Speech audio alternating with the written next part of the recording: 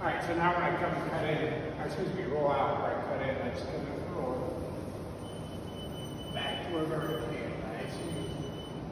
And then I, I wasn't sure how far I could get in because of that metal plate, so that's why I painted that brush as far as I did.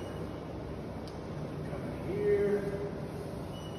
And also, I should tell you, normally your ceiling only requires ceiling paint, but this is brand new construction, so it requires two. I mean, we want to make sure we're coming up pretty good. I can see where there's some gray spots with the light on, so I they get rid of those gray spots. This is unpainted, this is painted. I don't know why you can see that, but if you look around the room, you see the difference,